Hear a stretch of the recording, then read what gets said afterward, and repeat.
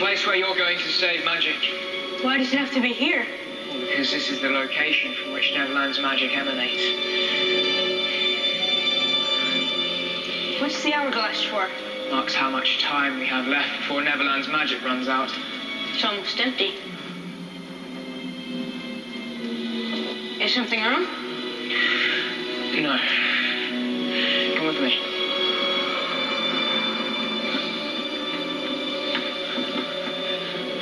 Something I need to take care of before we get started. Okay?